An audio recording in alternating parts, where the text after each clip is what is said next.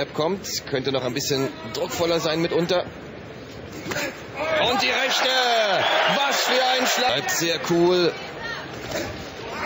Nochmal die rechte. Da zuckt der Brewster wieder. Jetzt bei Helenius. Und wir sehen nochmal die Studie mit links angeboxt und dann die rechte ganz kurz. Immer wieder rechtzeitig aus dem Weg. Und bringt dann den Jab. Hier mal ein guter.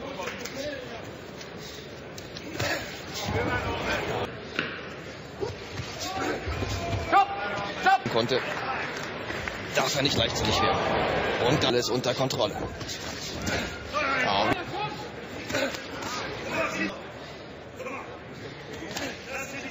Dass Brewster selbst die Aktion startet. Hier eine Saint unter seine Kontrolle gebracht.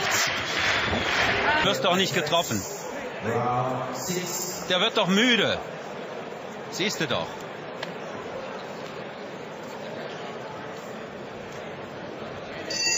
haben sie die Mimik und die Körpersprache.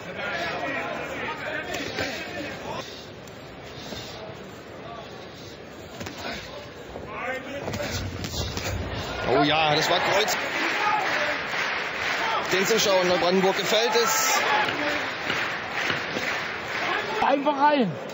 Das wird er noch versuchen. Du musst immer noch kritische Situationen überstehen. Ja? Luan Krasnitschi lag Brewster nach Helenius in seinem erst elften. Wir uns jetzt nochmal nachzusetzen. Sehr gut mit der rechten. Brewster soll fighten. Seine Ecke treibt ihn nach vorn. Und gut getroffen.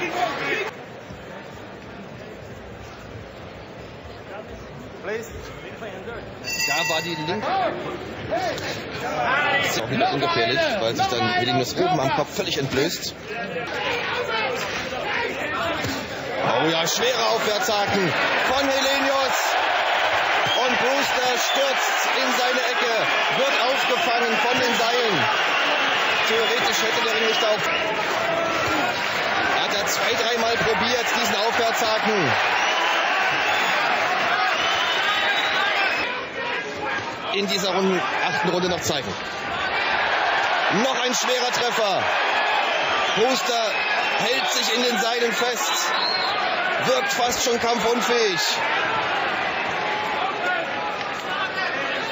Noch 30 Sekunden. Und Fabian Guggenheim, Schweden in Finnland, an seine Frau zu Hause, seine zwei kleinen Kinder.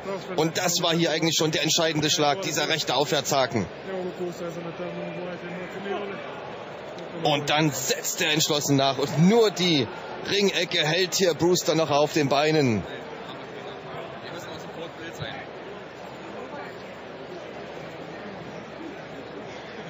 Und da sieht man, dass Helenius auch konditionell sehr gut vorbereitet ist.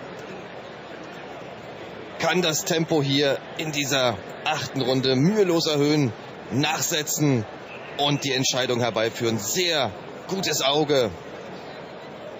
Studiert seinen Gegner, schlägt überlegt.